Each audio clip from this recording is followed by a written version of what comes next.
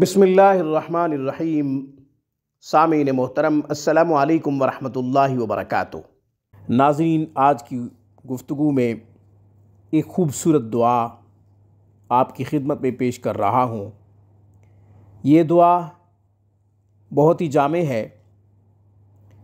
आपके घरों में, दरसगाहों में, खेतियों में, फ़सलों में, सांप बिच्छू देखने को मिलते हैं।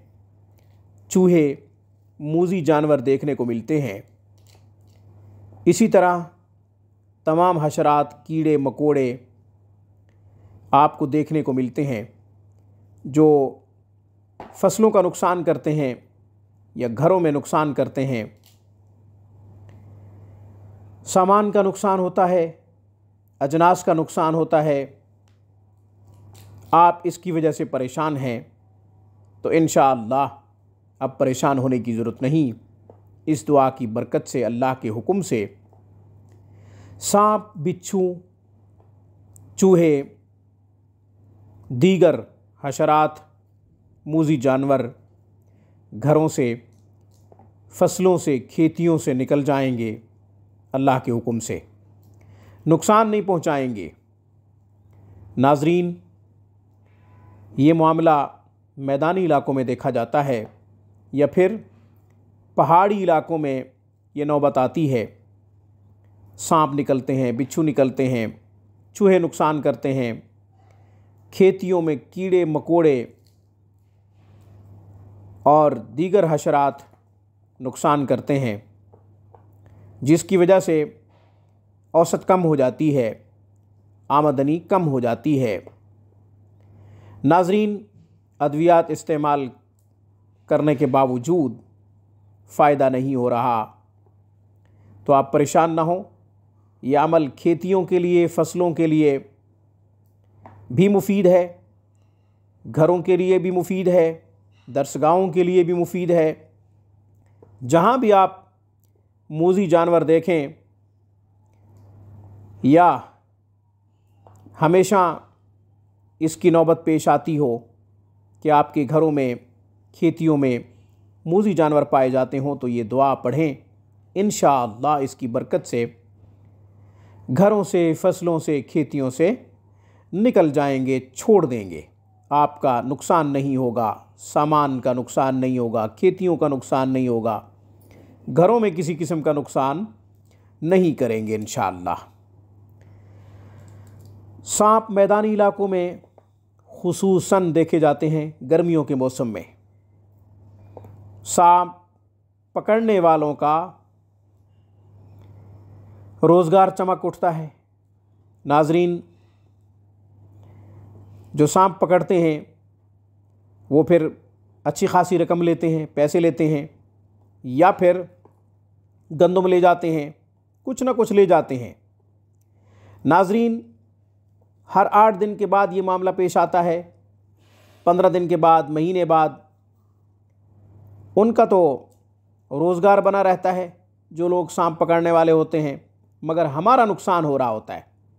तो नाजरीन, किसी को बुलाने की ज़रूरत नहीं है, किसी से मदद लेने की ज़रूरत नहीं है। आप ये दुआ ख़ुद पढ़ें, अपने घरों की हिफाजत के लिए, अपने फ़सलों की हिफाजत के लिए, अपनी खेतियों की हिफाजत के लिए, अपनी दरसगाहों की हिफाजत के लिए।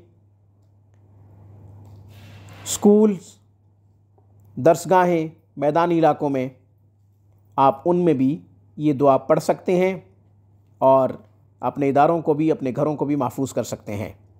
नाजरीन गुफ्तु तवील होती जा रही है। अब दुआ भी बताता हूँ, उसका तरीक़ा भी बताता हूँ। नाजरीन, ये मुबारक दुआ, खूबसूरत दुआ, इसका तर्जमा भी खूबसूरत है। पढ़ रहा हूँ लिख भी देते हैं, याद कर लीजिएगा। या अयतुहल हयातो वलफ़ारातो वलाकारिबो वलमूदियातो इरतहलू आम बुयूतिना वज़रूना व फसूलिना व असासी बुयूतिना बेज़न ताला फ़िल्म तरताहिलू आन बुयूतना फ़िल्म तरताहिलू अन्ना ये भी पढ़ सकते हैं। फ़िल्म तरताहिलू अन्ना फ़ादनु बहरब मिनल्ला व रसूली ये दुआ है। फिर पढ़ देता हूँ। या अयत हयातो वलफ़ारातो। वलाकारिबो वलमूदियातो इरतहिलू आम बुयूतना वज़रूना व फसूलिना, व असासी बुयूतना बेदनल्ला ताला फ़ैलम तरतहिलू अन्ना फ़ादन बहरब मिनल्ला व रसूल इस दुआ को सात मरतबा या ग्यारह मरतबा पढ़ें। पढ़कर रेत पे दम करें या नमक पे दम करें, उसका छिड़काव कर दें अपने घर में। खसूस उन बुनियादों में नमक या रेत डाल दें, जिन बुनियादों से ये मूजी चीज़ें निकलती हैं। ये भी कर सकते हैं। इसके अलावा पानी पर दम करके पानी का छिड़काव भी कर सकते हैं। सात दफ़ा इस दुआ को पढ़ें, या ग्यारह मरतबा इस दुआ को पढ़ें। घरों के लिए तो ये बता दिया, खेतियों के लिए क्या करना है? फ़सलों के लिए, खेतियों के लिए पानी पे दम करें। पानी पे दम करके जो दवाई इस्तेमाल कर रहे हैं इनके ख़ात्मे के लिए पानी उस दवाई में मिला दें।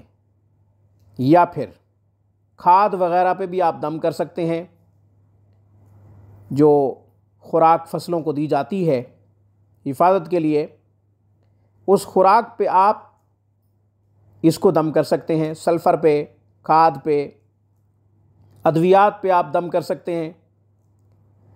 फिर ये पानी में हल करके खेतियों में बहा दें। इन अल्लाह खेतियाँ महफूज रहेंगी, फ़सलें महफूज रहेंगी। आपका जो ज़री फार्म है, वो महफूज रहेगा। अल्लाह के फ़ज़ल से और इस दुआ की बरकत से। इस दुआ को सात मरतबा पढ़ना है, ग्यारह मरतबा पढ़ना है, इक्कीस मरतबा पढ़ना है। इक्कीस मरतबा पढ़ेंगे तो ज़्यादा फ़ायदा होगा। दुआ को याद कर लें या फिर लिख लें। लिख कर आप इस दुआ को देख कर ज़बानी पढ़ लें। ज़बान से इस तरह अदा करें कि सही हरूफ अदा हों। नाजरीन, एक तो ये करना है। दूसरा तरीक़ा, खेतियों के लिए, फ़सलों के लिए जो आपका ज़री फार्म है, उसके लिए एक तरीक़ा और अर्ज़ कर देता हूँ आसानी के लिए। इस दुआ को पर्चे पे लिखें, कागज़ पे लिखें। कागज़ पे लिख कर चारों कोनों में दबा दें। यानी आठ कनाल का एक एकड़ है, आप उसके लिए चार तावीज़ बनाएँ, चार पर्चे बनाएँ। चारों कोनों में उन चार पर्चों को दबा दें। ज़रूरी नहीं है कि आप चार कागज़ लिखें, बल्कि एक कागज़ लिख लें, फिर उसकी फ़ोटोकॉपी करवा लें। आपकी ज़्यादा ज़मीन है, दस एकड़ हैं, पचास एकड़ हैं, सौ एकड़ हैं, उसके लिए अलग अलग कागज़ तो नहीं लिखे जा सकते। हर एकड़ के लिए आपने चार लिखने हैं तो यूँ बहुत ज़्यादा बन जाएँगे। आप उसके लिए फ़ोटोकॉपी करवा लें। इन वही तासीर पैदा होगी जो लिखने से होगी। इजाज़त है मेरी तरफ़ से। मज़ीद रहनमाई के लिए आप मुझे कॉल भी कर सकते हैं। खूब फ़ायदा होगा। उशर निकालें, ज़क़़त निकालें। फ़सलों का उशर होता है, वो ज़रूर निकाला करें। हिफाजती इकदाम में ये सारी चीज़ें आती हैं।